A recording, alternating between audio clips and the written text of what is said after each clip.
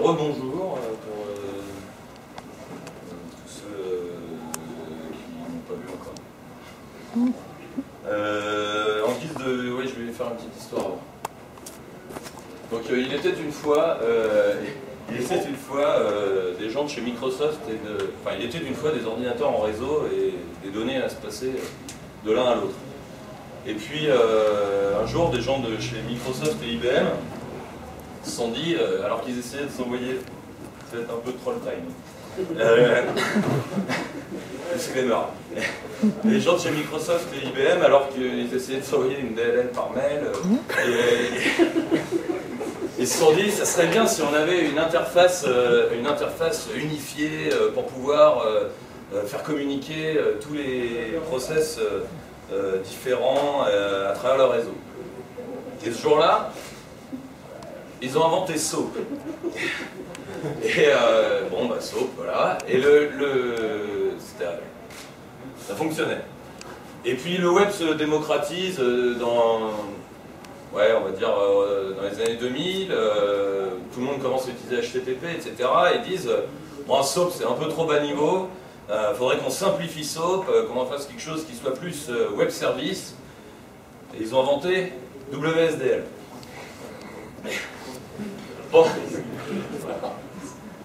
Pendant ce temps-là, pendant ce temps-là, pendant que Microsoft, euh, IBM et toutes ces grosses sociétés inventaient des super euh, euh, protocoles avec des kilomètres de spec, euh, bah, il n'y avait pas, qui marchent pas ou qui marchent très mal, et il y avait des hackers qui se disaient, mais bon, en fait, dans HTTP, on a tout ce qu'on veut.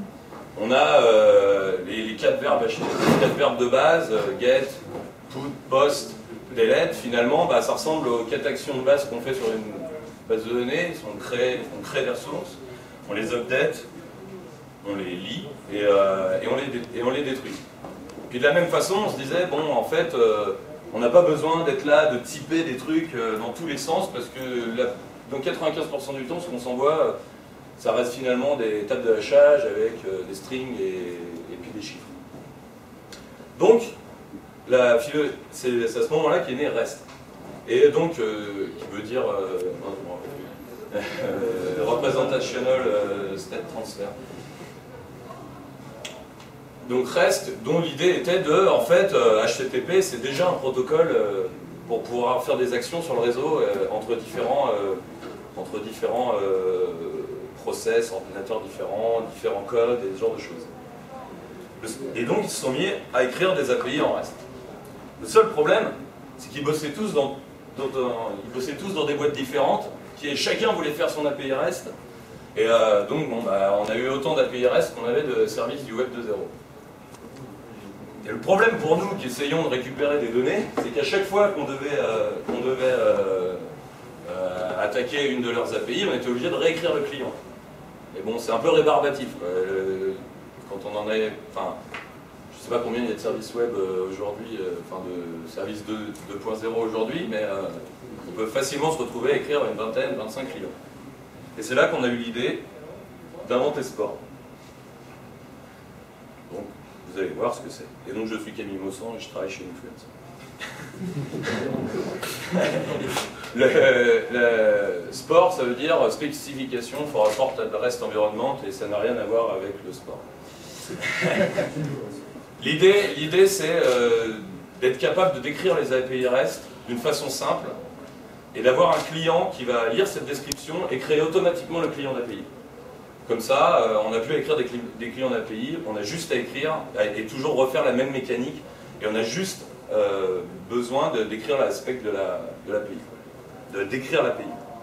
Et si possible, si les gens, si, ça marchait, si euh, le logiciel libre euh, fonctionnait, il y aurait des gens pour écrire ces clients génériques dans plusieurs langages. Et en fait, je- je- j'avance sur mes, j'avance, ouais, je fais n'importe quoi. Bon, c'est pas grave. Mais euh, on pourrait les avoir dans plein de langages différents et on aurait une spec unique qu'on pourrait euh, déployer partout. Donc ça a été créé par Frank Cuny et Niels Grunwald qui, bossent avec nous, qui bossent avec moi. Niels Grunwald qu'on a vu ce matin. Et là, de Frank Cuny qui est parti et qui est allé bosser chez Media à San Francisco pour euh, faire du Perl, mais en fait il a arrêté, il fait du Python. C'est vrai. Quoi? Condoléances. Ouais, ouais, voilà. Alors on, on reviendra sur, on reviendra sur Frank Cuny et Python, mais euh, pas de spoiler. Et la première release qu'on a faite, c'était à l'OSDC euh, FR euh, en 2010. Euh, bah voilà, c'était en octobre, ça fera deux ans. Pourquoi? Alors, je vous ai raconté le coup avec tous les services web extérieurs, mais en fait, on avait, chez nous, on fabrique des moteurs qui captent des données sur le web, et rien qu'au sein de notre moteur, on a beaucoup d'API, euh, telle base de données, tel serveur qui fait ci, tel serveur qui fait ça. Et donc, rien que chez nous, on, était bloqué et on, avait besoin de réécrire les clients d'API à chaque fois. Et on l'a fait d'abord pour chez nous avant de le faire pour, euh, pour, euh, pour les services extérieurs. Et puis en plus, euh, notre stack était entièrement en Perl il y a encore 9 mois. Et, de, et, et, depuis, on s'est mis à d'autres langages plus efficients pour certains trucs. Je ne vais pas rentrer dans le troll, pas le, moment, mais. non, on fait du closure. Et donc c'était l'idée du client générique, c'était une bonne idée si on voulait pouvoir euh, avoir enfin, une, seule, description d'API pour, euh, pour juste, euh, quel que soit le langage qui allait attaquer l'API. Voilà. Et donc l'idée vraiment fondamentale, c'est d'écrire une fois la, description d'API et ensuite de, pouvoir utiliser les clients n'importe où, n'importe où dans, dans système, ou n'importe où, n'importe où, partout. Donc une spec. Alors là, je vais devoir faire de l'interaction. Ah, ok. Non, ça c'est du spoiler, donc je vais ça aussi. Voilà. en fait, euh, bon, je prends Twitter, le search Twitter, parce que c'est quelque chose de quand même euh, très simple. Le search Twitter, bon, bah, leur API REST, euh, elle est décrite sur leur page de doc il faut, suivre un format d'URL, qui est search.twitter.com, search.format. Format est un, format est un placeholder où on remplace par XML ou JSON et puis on récupère euh, du XML ou du JSON. Et puis on a un simple euh, paramètre, euh, un seul paramètre obligatoire à mettre dans la query string, c'est Q, qui représente la query. Bon après il y en a d'autres, mais on, va passer pour. Je vérifie je vous dis rien, mais tous les autres sont optional, donc euh, le seul required, c'est vraiment la query. Et eh ben, eh ben l'idée d'une description de l'API sport, c'est de mettre la base URL de, de l'API, et pour chacune des routes, alors là, bon, on n'en a qu'une, c'est search, mais pour chacune des routes de l'API, on va, on va euh, décrire cette route et la, et la mapper à une méthode. Donc là, on a une méthode qu'on va appeler search, parce que ça semble assez logique. Le, modèle de route, c'est search.2.format, on retrouve le placeholder.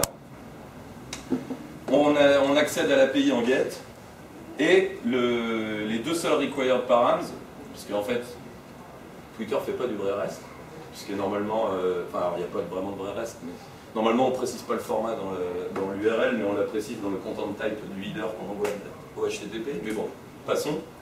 C'est pour montrer que le sport est quand même euh, flexible, puisqu'il s'adapte aussi au truc un peu euh, touchy. Et donc les deux paramètres obligatoires vont être euh, format et queue, et donc on le dit à la description d'API.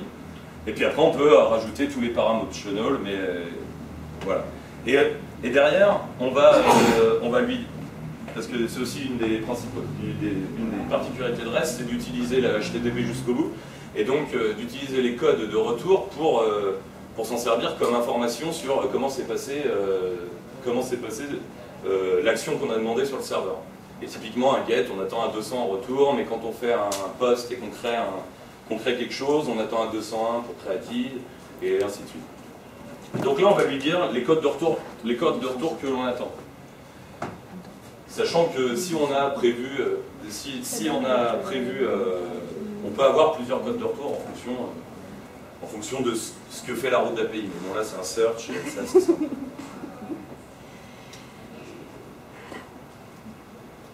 Ouais, alors en fait, bon, et l'autre euh, idée, euh, alors comme euh, c'est Franck qui a fait la première implémentation de sport en Perl, et qu'il aimait bien PSGI, et qu'il aimait bien euh, Dancer, enfin qu'il aimait bien, qu'il est co-auteur de Dancer. Et que. Quoi C'est ça la saloperie qui vient là. Non, non, non, non. Et, et- il adore, enfin, il aimait bien le concept de middleware, c'est-à-dire d'a- d'avoir, euh, euh, on, a, on a quelque chose qui arrive, quelque chose qui sort, et on va aller mettre des process entre les deux, et on va pouvoir les stacker pour pouvoir faire des, pour pouvoir faire des, euh, des actions qui arrivent à chaque fois, soit quand on envoie une requête HTTP, soit quand on la récupère. Et, et donc, euh, l'idée du middleware, c'est dans l'aspect de sport. Donc, si vous voulez faire un client demain, on verra ça plus tard, euh, ça serait bien de supporter les middleware. Euh, L'idée, c'est que c'est- typiquement la, sérialisation ou la désérialisation, comme on a vu pour le coup du JSON, on va le faire avec un middleware. C'est-à-dire, on va dire, euh, moi, moi, mon client, j'envoie une donnée, une donnée en hash, en structure Perl, et puis je vais faire un, un middleware qui formate ça en JSON pour le balancer dans le corps du poste quand on fait un create. Et de la même façon, quand je récupère du JSON, je vais me faire un petit JSON décode, et comme ça, je pourrais renvoyer directement une hash euh, euh, Perl au client. Donc ça permet de gérer les formats de sérialisation, ça permet de gérer l'authentification aussi, si à un moment il faut rajouter dans l'URL des, tokens, des choses comme ça pour pouvoir passer. Ça permet de gérer du cache, parce que comme ça, euh, notre code, il a l'impression de faire les requêtes, mais en fait, on a le cache sur le middleware et c'est complètement transparent pour le code. Et euh, ça permet de gérer des trucs un peu exotiques sur Header. Mais en fait, j'aurais pu mettre plein d'autres petits points parce que ça permet de gérer tout ce qui peut euh, vous arriver et qui est euh, euh, et tout ce qui peut vous arriver et qui touche Orchid. Donc voilà, ça c'est la première implémentation qui est écrite en, peu- écrite en Perl, euh, par Franck Cuny, et qui est dispo sur le CPAN et GitHub. Alors comme on voit, enfin, c'est là où toute l'idée c'est d'utiliser le module. Donc ce module est complètement générique à, ce module est complètement générique à l'API que vous allez attaquer. Quand vous, quand vous créez l'objet, vous lui, vous donnez le, le pass vers le pass ou l'URL parce que il est capable de gérer. Le pass ou l'URL vers la spec. Vous pouvez rajouter la basure à cet endroit-là parce que mettre la basure, au début on avait mis la basure dans la spec, dans la description, mais des fois elle change. Et, euh, et c'est chiant de, si vous voulez avoir une spec qui est, euh, qui est indépendante de la basure, en fait, en, fait à la création on peut surcharger des, euh, certaines des, certains des attributs de la description. Donc on, la mesure. Et donc là, ce sera search.twitter.com. On sait qu'on va parler en JSON euh, avec le, on l'API, donc on lui, dit, euh, là on est, on met en place le middleware pour lui dire ça va être du JSON le format de sérialisation. Et puis après, bah, à partir de ce moment-là, on a directement un client qui a une méthode search auquel on va directement passer le- les param obligatoires, si on ne les passe pas égal, format JSON, Q, FPW, et on récupère dans la- un objet euh, net HTTP Sport Response, je crois, qui va contenir euh, d'un côté les headers, de l'autre côté euh, le body, euh, pour que ça ressemble quand même à un truc HTTP classique. Et puis, ben, on a directement, à la différence d'un objet response classique, ben, c'est directement désérialisé, donc on peut rest body mon tableau de résultats et j'ai directement mes résultats que je vais imprimer. Ce, client-là euh, est, en- donc est sur le CPAN et sur GitHub et en prod chez nous depuis, euh, depuis 2010. Donc, où on voit que le closure euh, est moins verbeux que le Perl. La même chose en closure. C'est pas la vraie deuxième implémentation. La vraie deuxième implémentation, c'est en Lua, mais elle viendra après. Donc, bah, la même. On, on charge euh, sport, on charge euh, middleware, on définit notre client qui lit l'aspect et qui. Alors, c'est un peu plus sympa, on peut euh, activer les middleware directement à la création, on n'a pas besoin de le faire après. Comment? Tu peux le faire après. Oui, oui, je sais, mais. Non, mais- oui, mais en Perl, on est obligé de le faire après. C'est vraiment, ça dépend des implémentations. Enfin bon, et euh, on- de la même façon, on peut overloader la mesure, et puis directement derrière, on, alors que là, pour le coup, c'est pas une vraie méthode parce qu'on n'est pas dans un, on, on est dans un langage euh, plus compilé, on va dire. Donc là, là, ça va être un mot-clé euh, qu'on va appeler pour pouvoir, euh, pour pouvoir avoir la méthode search, mais on lui file les param. Bon, après, c'est du Lisp. hein. Et, euh, et ça, en gros, bah, ça fait la même chose que c'est euh, de underscore euh, text for euh, res body result. Client, pareil, déposé sur GitHub, développé par Nils et en prod chez nous depuis moins longtemps. Depuis un an, une petite année. L'UA, eh ben encore pareil. Euh, et encore plus, euh, encore plus euh, succinct. Bon, je vais pas vous la refaire à chaque fois. On change la spec, on, enable le middleware. Alors il, faut, il peut y avoir des, vu que c'est des clients qui sont développés sur, plusieurs langages, il peut y avoir des différences d'implémentation. Euh, Bon, ceux-là, ils sont, ils tous les clients que je vous montre là, ils sont complets, donc euh, il n'y a pas vraiment de différence. Et donc là, ça fait la, même. Il y a peut-être des coquilles parce que j'ai, j'ai pas tout compris en l'UA sur entre les deux points et le point. je vais pas, celui-là, je l'ai pas compilé. Développé par François et euh, je sais pas s'il est en prod quelque part euh, ou si c'est juste utilisé à des fins expérimentales. Des, gens, euh, des Russes qui travaillent avec, euh, qui m'ont demandé, euh, qui avaient demandé des adaptations pour un middleware pour avoir les signatures sur euh, le truc Amazon. Ok. Je sais pas ce qu'ils en font, mais ils On prod quelque part. ils en prennent quelque part. Ruby, alors euh, développé euh, par euh, un perler aussi qui n'est pas là aujourd'hui, Sucria, euh, le père de Dancer, euh, bah, qui a aussi complètement euh, adopté, le, adopté le truc et qui l'utilise en prod. Et donc, euh, toujours avec la même spec que j'ai écrit tout à l'heure, eh ben, j'ai un client en Ruby euh, complètement fonctionnel qui fonctionne à peu près de la même façon. Toujours dispo sur GitHub.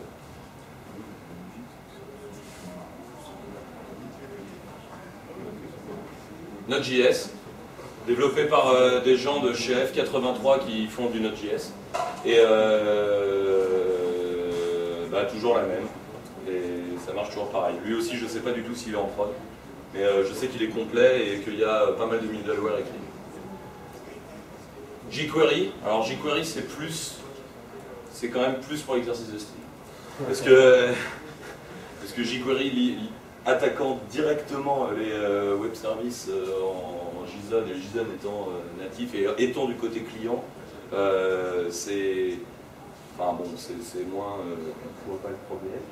Non, mais oui, mais bah, c'est l'exercice de style parce que pourquoi euh, fabriquer un clip Oui, non, en fait. Bah, en fait, le, le vrai problème avec le jQuery, c'est ça. C'est que euh, il fonctionne que. euh, C'est surtout le du dessus. de quoi?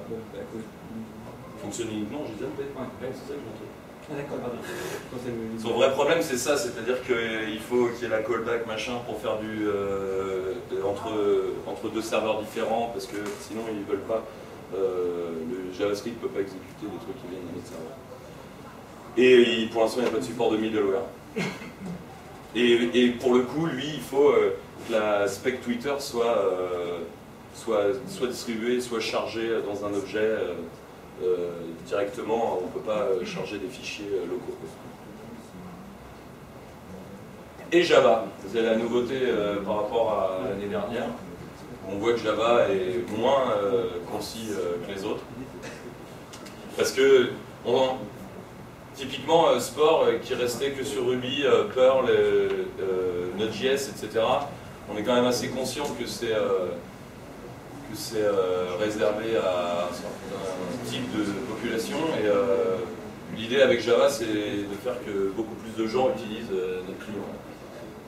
Donc bon, il est, c'est un, c'est un format expérimental et où on voit que c'est quand même, ah ça va encore, être, ça pourrait être pire. Mais on est obligé de mettre, euh, on est obligé de mettre les, euh, on est obligé de mettre directement, enfin on est obligé de créer une map, euh, de mettre les paramètres dans la map, de passer la map en, en paramètres. Alors les autres langages, alors revenons à Frank Cuny. Donc Frank Cuny qui était parti faire du Perl et qui en fait fait du Python. nous a dit pas de problème, dans trois mois, vous avez le client sport en Python. Puis là, il s'est rendu compte qu'en fait, toute la stack HTTP et URL était pas top top en Python. Et donc, bah, il s'est remis à. avant de pouvoir écrire sport, il s'est remis à réécrire LWP. Quoi. Et tout ce qui est en dessous. Donc bah, pour l'instant, il, remonte, quoi. il remonte la stack. et, donc, le, et, donc, le client est toujours en cours. ah oui, oui, tout est sur GitHub et ça s'appelle, comment il l'a appelé son HTTP il y a quatre librairies, il a fait un post pour dire quoi, il n'y en avait aucune qui avait fait la bonne manière de faire. Il y a URL lib, URL lib 2, HTTP lib. Ouais, ouais, quand, quand tu vois que URL lib 2 est plus utilisé qu'URL lib et pas, autant utilisé, moins utilisé. Donc bon, un jour, on, espère avoir le client Python. PHP, PHP. Puis après, pour ceux qui aiment le défi, euh, C++, euh, Haskell, Go, Go Sport. Ah, ah.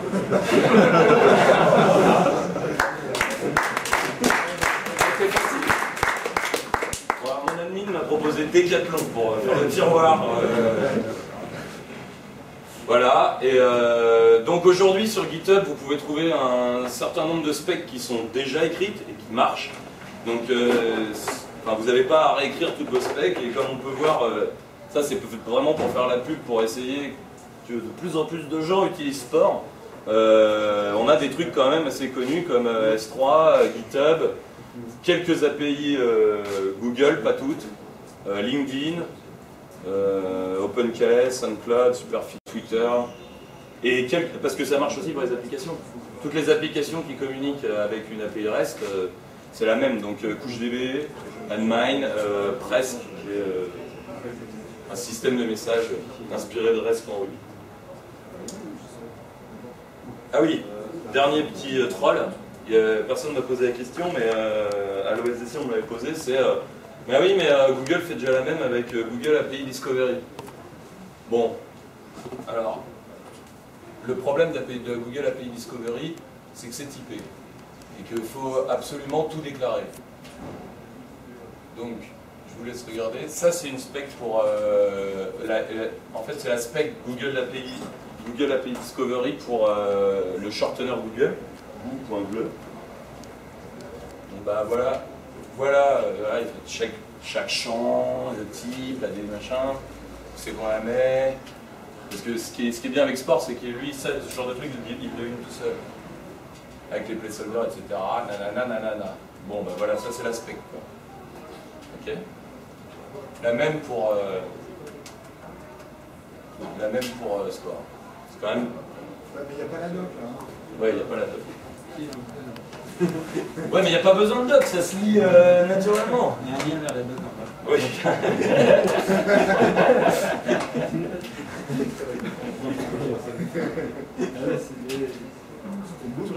Ah, ensuite, euh, ensuite, il y a un lien.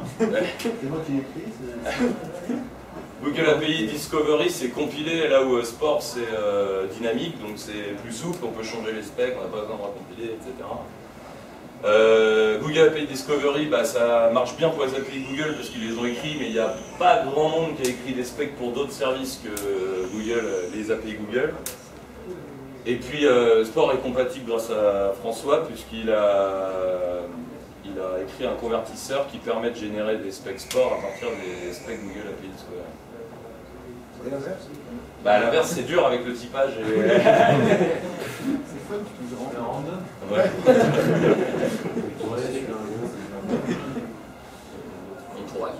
Donc euh, les specs et les descriptions d'API sont sur le GitHub à cet endroit-là. Tous les projets aussi, donc euh, fork, euh, pull request. Il y a un Google Group qui est plus très actif, qui a été surtout actif au moment où il a fallu écrire les specs, les descriptions. Mais maintenant qu'elles sont à peu près figées, que c'est pas bougé depuis un, plus d'un an, euh, le Google Group, euh, il ne tient qu'à vous de le refaire revivre. Et je remercie bah, François, Sucria, François Demès, euh, tous ceux qui ont écrit des implémentations de, sport, et tous ceux qui écrivent des specs et tous ceux qui l'utilisent. Voilà. J'ai fini.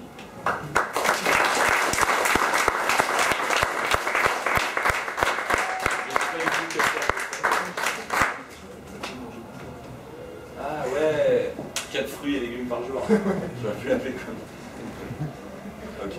Et Question question Ouais, euh, les specs qui sont de Twitter, YouTube, machin truc, c'est quelqu'un qui s'est amusé à convertir d'après la doc des, des sites ou est-ce que les sites eux-mêmes euh, Alors, des specs on rêve du- que les. Ce serait génial que. C'est déjà arrivé. Ouais, c'est déjà Il y a deux, trois euh, fournisseurs de services qui, euh, Mais c'est- ouais.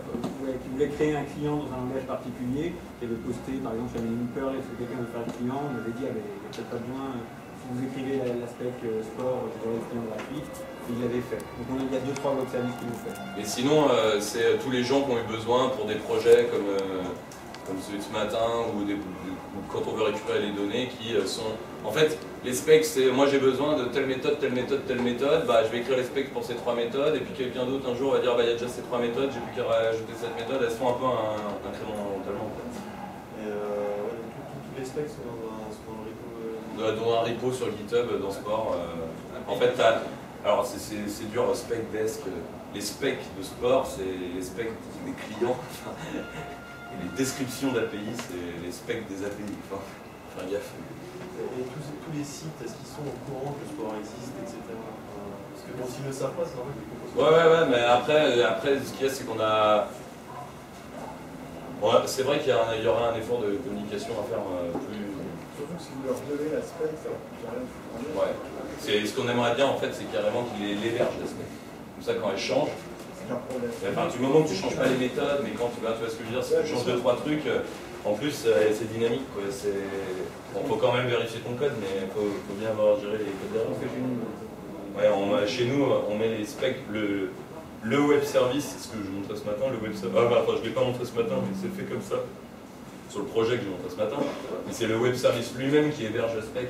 Et il a une route Sport Desk. Et c'est la première route que tu demandes. euh, comme ça, il, il crée le, le client automatiquement.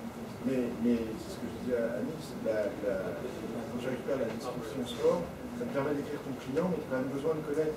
En tant que programmeur qui te sert de l'API, tu as quand même besoin Ah oui. de connaître. Oui, mais la, la plus, enfin, ce, qui est, ce qui est quand même euh, intéressant, c'est euh, d'appeler les méthodes de la même façon qu'elles sont sur la doc de l'API. Ce qui fait que tu as juste à lire la doc de l'API et tu n'as pas besoin de, à chaque fois, reconstruire ta route, remettre tes, Ouais. remettre tes euh, variables pour fabriquer euh, la route, etc. euh, appeler le. Enfin, Sachant que dans, les la doc et t'écris le code, et finalement, le- la partie intermédiaire est automatique. ouais, voilà, c'est ça, c'est ça l'idée. Sachant que les- théoriquement, dans, la- dans les specs des clients, il y a le fait que les clients sont entièrement. euh, on peut faire de l'introspection dessus, donc on peut demander à un client qui a été généré par une spec qu'on ne connaît pas, quels sont le nom des méthodes qu'il implémente, quels sont leurs arguments. Je sais pas s'il y, a- y beaucoup de clients qui. Non. Bah, Perl, Perl, là, euh, ça. Je crois que lui aussi. Le fait de pouvoir demander quelles sont les méthodes implémentées dans le client, ce genre de choses. Enfin bon. Enfin, il y, a- il y a des clients qui. On l'avait mis dans les specs et il y en a qui. Est-ce qu'il n'y a, pas une, euh, il y a pas sur le client euh, Perl, enfin, sur le client, une méthode Autodesk, euh, tu fais juste l'URL et ensuite il va aller chercher la spec euh, Bah, c'est ce que je disais. C'est Non, euh, quand la spec tu est. as dit quoi? Tu as dit que, qu'il y avait, Ah oui. euh, y avait une URL, mais sans, sans même. euh, sans- Ah, tu, veux dire aller directement sur GitHub, récupérer s'il y a une spec qui est écrite? Dans la- dans l'implémentation du gars, j'ai un new, un new from string, un new from file, et un new from URL. Donc si j'utilise un new from URL, je vais chercher la description directement. Là, là, Bah, C'est ce que je disais sur Perl. c'est. Perl, implicite, mais c'est pareil. On peut mettre une URL ou un fichier local. Mais le succès, c'est que quand tu as une API REST, et tout le monde est un lien. Ouais. C'est ça, tu vois. Le le problème en fait aussi, parce qu'on avait pensé à un moment qu'on puisse directement qu'il y ait un serveur de desk et qu'on puisse demander la desk de Twitter. Oui, ça aussi, on s'était dit. euh, Mais Ça pose des problèmes de versionnage par exemple, ça pose c'est pas forcément un problème simple. non, et puis il faut que les, il faut que les, les services tiers soient d'accord aussi. Ouais, enfin, il y a un terme- Et puis il n'y a pas que des services web, il y a aussi par exemple il y a des specs pour QGB. Parce que des applications qui marchent euh, mais à base d'API REST. Elle, tu as besoin de garder les versions anciennes, autant peux dire que Twitter, la version 2009, c'est très intéressant, autant euh, les versions anciennes de CouchDB, et les gens peuvent avoir besoin de specs. Après, un autre problème, c'est qu'il y a des services, des services du reste, mais vraiment, euh, vraiment spécifiques. Typiquement, bah, c'est des gens euh, qui euh, font une API avec un système d'authentification spécifique, C'est-à-dire qu'il faut euh, prendre des paramètres, euh, Le hacher, hacher. euh, hacher, faire un, un SHA-1, ouais, tout là, euh, et là, ça veut dire faire un middleware spécifique euh, pour euh, ce, ce service. Et euh, donc la, description euh, de l'API, euh, elle est utile que si tu as une implémentation, tu auras le bon middleware. C'est c'est plus confortable. Il y avait eu tout un débat sur est-ce qu'on met les middleware dans la description. euh, les, les middleware, enfin, les middleware de- d'autorisation, d'authentification, c'est là que ça varie le plus. c'est des choses pénibles, il y a des gens, euh, euh, on dit qu'on va coder en, sérialise en, en JSON. Donc quand le résultat est bon, tout va bien, euh, nickel. Et quand il n'y a, pas- il a pas de ressources, on renvoie un 404, mais donc là, avec le 404, on va te mettre un JSON avec une bonne, euh, avec bonne, bonne cause d'erreur. Non, le, le body, c'est de l'HTML. Ah, et là, ça fait péter le truc. Et là, ben, le, Ça aussi, c'est mal réaliser euh, avec euh, enfin, quand tu mets de l'HTML dans la dans, initialiser euh, les zones, ça marche pas bien. Quoi. Mais ça, c'est. Ça en dit plus rien, il faut des services comme ça. Quoi. Sachant que justement à propos des services côté serveur, il y avait aussi quelqu'un qui avait fait un truc pour créer le service à partir de la plateforme et côté client.